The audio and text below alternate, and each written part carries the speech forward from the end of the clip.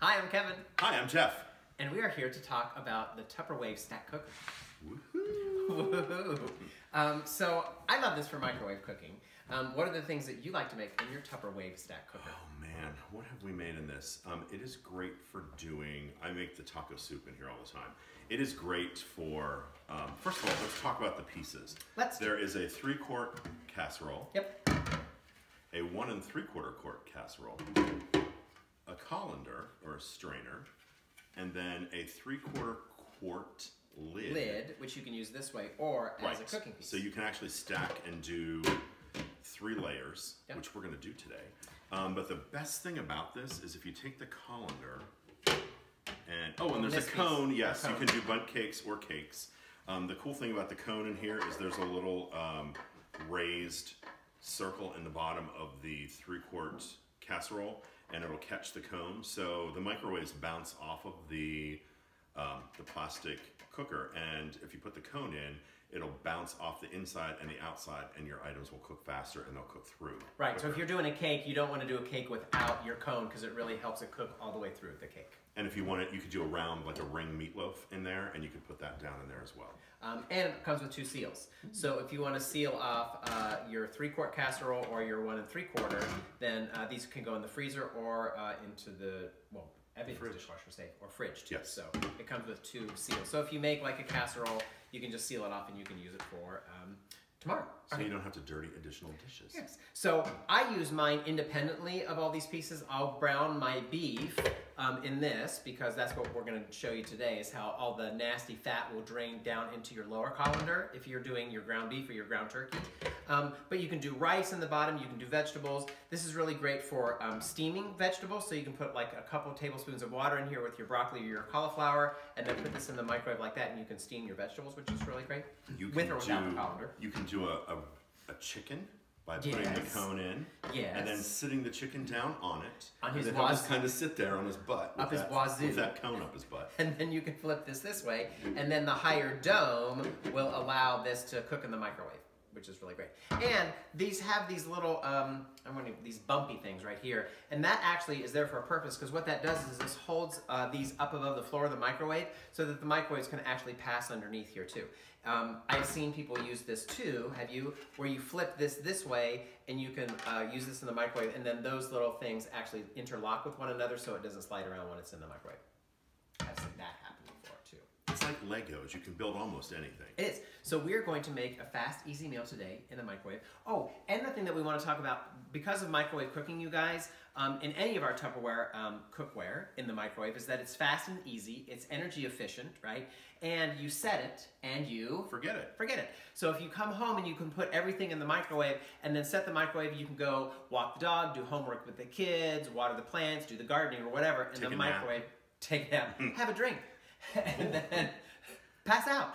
And then your stove, your microwave actually shuts itself off. You don't get that when you're working in with an oven or a skillet or anything like that. Exactly. Okay, so we are going to stack cook a meal for you tonight. Paschetti with ground beef and marinara. Woo! Awesome. So what's our first step? Um, we are going to put water in Yes. the three-quart colander. Three quarts, so that's and this one. we pre-measured. We've got three cups of water. So we're going to put the water in the three-quart casserole. Four cups. Three. Our art director is telling us this. Oh, four. Three, I four. read this. I didn't, I, we didn't think we needed our glasses I don't for this, this so And uh, and when we were watching Nancy do this yesterday night, um, she kind of didn't really measure her pasta. So, but she did crack it in half. So, how many of these do we want to do? um, One. another one. How about a short one? And this is our spaghetti dispenser from Tupperware, which is awesome for Where's your long- measurer? Long spaghetti. Oh, who knows? It's probably in the pantry somewhere. Oops, there goes that. All right. Um, so that's our spaghetti dispenser. So that's our pasta. I would give that probably a little stir so it's not stuck together. Did she put any oil in it? She did no oil. Now she might have. I don't think she salted her water, but you can. But um, you don't have to. And there goes the phone. I knew that was going you to happen. Did you have salt? We should Row, probably salt. row, yes, a little bit of salt. Salt is actually important when you are cooking your pasta because it adds flavor to your pasta.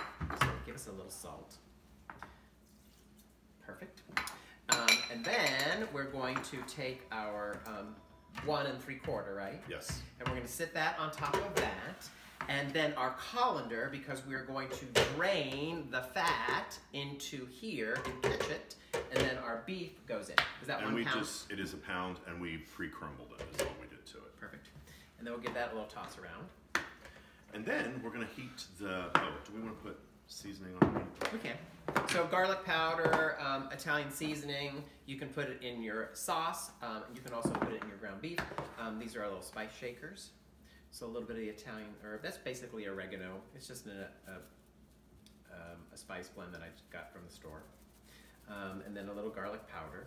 If you don't, if you have fresh garlic, you can use fresh garlic, but I like to use garlic powder. And then we're going We're to gonna take the cover and invert it. and we're going to use a jarred sauce, and we're just going to pour the jarred sauce into the cover, just like that, Shall we? if you wish. Will that fit in there? No. Um, and then, so this doesn't splatter all over, we want to cover this before we put it into the microwave with um, some wax paper. Now you can also season. You want to grab your seasoning over there. Add a little bit more seasoning. I always I love jarred sauces just because they're simple, but I always doctor them up a little bit. You can add hot pepper flake to it if you want a little bit of spicy marinara. We do the same thing at home. Yep. And then this is going to go into the microwave for how long? Did she tell us? last time? Fifteen minutes. Yeah. Now, the thing with your microwave, you guys, is as soon as you start using this more at home, you're going to find how long you want to put stuff into the microwave because you're going to find that sweet spot. Some microwaves are stronger than others. I think mine is a 1200 uh, watt microwave. Um, it's always best to cook things less and Because you can add, always add time. add time because you can't uncook something. Why so don't we do it for 12? do it for 12. So we're doing for 12. We're going to cover so we don't have any splattery messes. And we'll do 12 minutes and then check it. And we'll come back and show you the finished product. We'll see you in a bit. Awesome. And Welcome we're- back. We're back. okay, so uh, by the magic of television, we did drain our pasta. But um, We this cooked it great. for, we did 12 minutes to start, checked the meat and the pasta. Neither one were completely done, so we put it in for another three minutes. Ooh, steamy. Steam. So, um, because what you want to do is you want to make sure that you drain your pasta because we're going to mix in this lower one. So what we did is we just went to the sink and just kind of used this and drained. You want to leave a little your pasta water in uh, in there because it's going to help with your sauce, right? What do they call that? Italian. They call it Ah, Italian. Italian. But here's what we want to show you. So remember we did this in the um, the uh, colander. So look at that.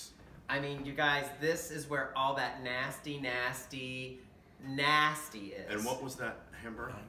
That was 96% lean um, from the And that's Aldi. just from from the trailer park Pal Aldi. That's really icky so that's nasty.